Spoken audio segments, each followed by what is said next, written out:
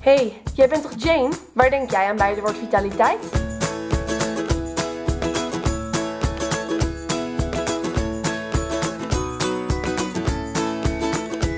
Nee, Mark zal het je vertellen. Vitaliteit is de mate waarin iemand krachtig en energiek is. De wat minder zweverige kant is lekker in je vel zitten. Vitaal zijn heeft twee kanten. Je fysieke vitaliteit en je mentale vitaliteit. Bij fysieke vitaliteit draait het om hoe je je in je lichaam voelt. Voel je je fit genoeg om naar school te gaan of te gaan sporten? Bij mentale vitaliteit draait het om wat je denkt, voelt en hoe je dingen ervaart. Stress en tegenslagen kunnen ervoor zorgen dat je mentale vitaliteit achteruit gaat. Als je dit zo hoort, zou je jezelf dan als vitaal beschouwen? Dat is al best aardig. Maar ik heb een paar tips voor hoe jij je vitaliteit kunt optimaliseren. Als eerst, probeer genoeg te bewegen. Als je student bent, kan het zo zijn dat genoeg beweging er wel eens bij inschiet. Nu hoef je je niet gelijk aan te melden bij een atletiekvereniging, maar neem eens de trap in plaats van de lift. In de dagelijkse dingen valt er al veel beweging te winnen, zonder hier al te veel moeite voor te doen. Ten tweede, probeer wat minder te stressen. Ieder mens heeft stress en dit is helemaal niet erg. Het houdt je alert. Maar te veel stress is niet goed voor een mens. Je slaapt er slecht van en je voelt je mentaal instabiel. Probeer dus regelmatig te ontspannen. Denk aan yoga of luister naar je favoriete muziek. Maak je hoofd leeg van alle stress om vervolgens weer te knallen.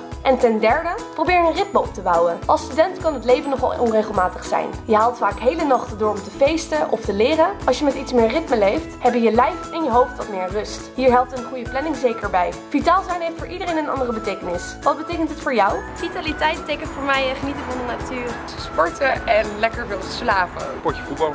Genieten met de zeven kinderen van mijn zus. Vitaliteit betekent voor mij hardlopen. Sleutel aan motoren.